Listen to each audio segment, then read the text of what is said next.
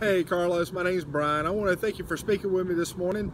And also, I'm going to do that quick little video that I told you about of the 2500. Let me know what you think about it. I can't wait to meet you tomorrow.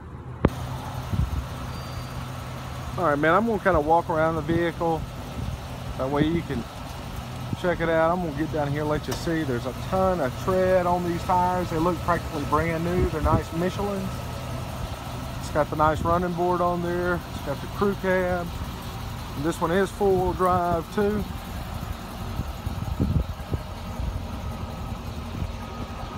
Right here to the back so you can see it.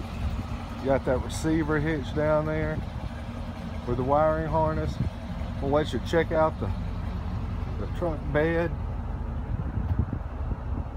Nice bed liner. Doesn't even look like it's been used.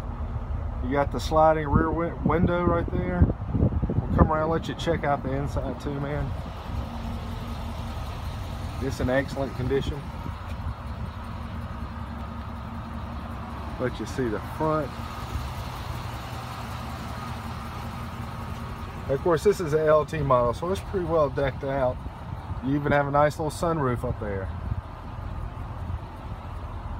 Let you see the instrument panel there.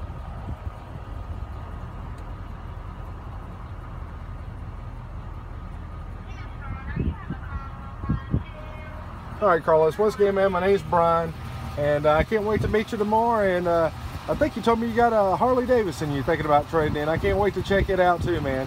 Look forward to hearing back from you.